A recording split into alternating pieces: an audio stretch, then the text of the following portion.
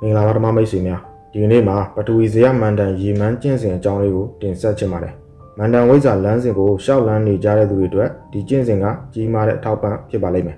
ဂိုင်းမဝင်ဘဲနဲ့ပယောဂကုလိုတဲ့သူတွေအတွက်တော့၎င်းမန္တန်ဝိဇ္ဇာလမ်းစဉ်ကိုစတင်ကြမဲ့သူတွေအတွက်တော့၎င်းဒီကျင့်စဉ်ကအကူအညီပေးနိုင်ပါလိမ့်မယ်ကျင့်စဉ်လေးကိုစတင်ကျင့်ဖို့အတွက်ပထမဦးစွာ၅ပါးသီလခံယူပါပြီးရင်ဗုဒ္ဓဂုံတော်၉ပါးကိုပတိ၉ပါးတတိစိတ်ပါမေတ္တာတော့ပူဇော်ရွတ်ဖတ်ပါ ပထဝီဇေယရေမန်းကျင့်စဉ်တော်ကြီးကိုယနေ့မှစပြီးကျင့်ကြံအားထုတ်မဲ့အကြောင်းကိုအဋိဋ္ဌံတည်ပါအဋိဋ္ဌံကတရားရှိရဖြစ်ရပါမယ်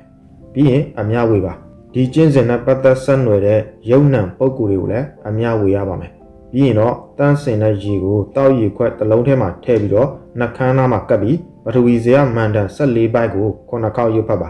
ဒါဆိုရင်ပထဝီဇေယမန္တန်ရေမန်းရပါပြီအဲ့ဒီရေမန်းကိုတောက်သုံးရပါမယ်တရက်ကိုရေမန်းတစ်ခွက်နှုံနဲ့ 108ရက်108ခွက်ဖြစ်ပါတယ်ပထဝီဇေယမန္တန်ရေမန်းကျင့်စဉ်မှာရှောင်ရမယ့်အချက်တွေကတော့တတ်တတ်လို့စားရပါမယ်ပရုဒဝါစာဆိုတဲ့ဆဲဆူချင်းကိုလည်းရှောင်ရပါမယ်တင်းချိုင်းနေမြေကိုလည်းရှောင်ရပါမယ်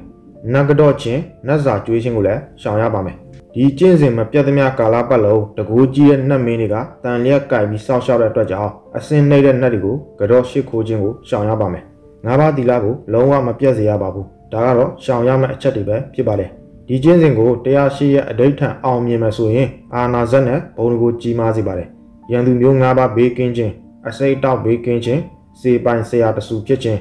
လူနတ်ချစ်ခင်စေခြင်းဘယောဂကုသနိုင်နေခြင်းစည်းစိမ်ချမ်းသာကြီးခြင်းယာဒူတိုးခြင်းပိယလာဘပွင့်လန်းခြင်းစတဲ့အကျိုးကျေးဇူးတွေကိုလက်တွေ့ခံစားရပါလိမ့်မယ်မှတ်သားထားရမှာကအဋိဋ္ဌံတရားရှိရဆိုရင်တထုံလို့သတ်မှတ်ပါကိုယ့်ရဲ့ကျင့်စဉ်ထုံတာများရင်များသလိုတကူကြီးပါတယ် အကယ်၍တနစ်တိတိကျင့်ကြံအောင်မြင်နိုင်မယ်ဆိုရင်သူတစ်ပါးရဲ့စိတ်အကြံကိုသိချင်းနတ်မင်းကြီးများဂုံမန်နတ်ဘလူးများ၏အဆောက်အအုံကိုရခြင်းစိန်တာမြဆရာတဆူဖြစ်ခြင်းဝိဇ္ဇာလမ်းစဉ်ပေါ်လာခြင်းတို့ကိုကြုံရပါမယ်လက်တွေ့ခံစားသိရှိရပါလိမ့်မယ်ဒီလိုပါပဲကျင့်စဉ်ကိုထုံတာများလေလေနှိကြလာလေလေအလွန်တကူကြီးပြီးအာနာဆက်ပြင်းထန်နေတာကိုတွေ့ရပါလိမ့်မယ် အပြောကတော့လွယ်ပါတယ်လက်တွေ့ကခက်တယ်ဆိုသလိုပဲလောကီပညာရဲ့ကျင့်စဉ်တွေဆိုတာဇွဲလုံးလဝိရိယထားပြီးကျင့်ကြံအားထုတ်ရတာပါဇွဲမလျှော့ဘဲနဲ့အားတင်းပြီးစူးစမ်းပါလို့တိုက်တွန်းရင်းနဲ့ပဲဒီနေရာမှာပဲပထဝီဇေယမန္တန်ရေမန်းကျင့်စဉ်ကိုရပ်နာလိုက်ပါတယ်ခင်ဗျာ